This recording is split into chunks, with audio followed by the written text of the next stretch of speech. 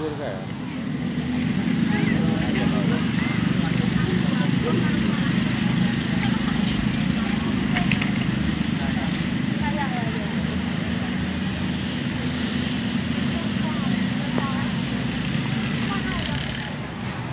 lagi diinformasikan kepada pemilik kendaraan roda 4 dengan nomor polisi AE 1929TC mohon untuk dipindahkan karena mobil yang di belakangnya mau lewat. Terima kasih.